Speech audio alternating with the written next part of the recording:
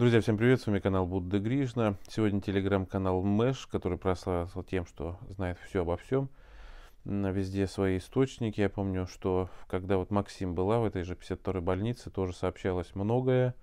Э, телеграм-канала Мэш многое опровергали, но потом практически 99% оказалось правдой когда уже она вышла из больницы. Так вот, сегодня сообщается, что состояние, что состояние Никиты Михалкова ухудшается из-за поражения легких, проблем с сердцем.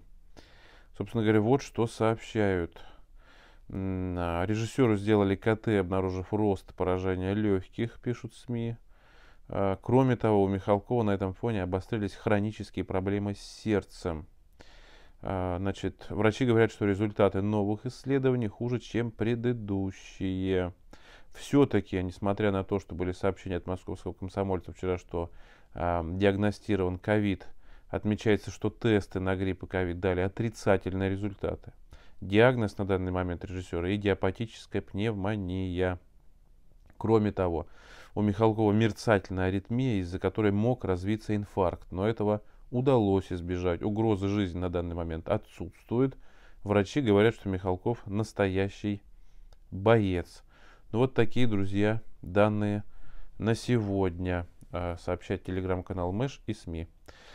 А, друзья, с вами был Будда Гришин. Подписывайтесь на канал, кому интересно. Ссылочку закреплю в комментарии в описании к видео для поддержки канала. Кому нравятся мои ролики, можете поддержать канал Будда Гришна. Подписывайтесь на мой телеграм-канал Будда Гришна. Новости, там новости в формате 24 на 7, плюс мои ролики на социальные и политические темы. Друзья, здесь на YouTube есть тоже канал, называется Будда Гришна Новости. Он резервный, запасной. Подпишитесь, чтобы мы с вами просто не потерялись в случае чего. Успехов, здоровья, всем пока. До встречи.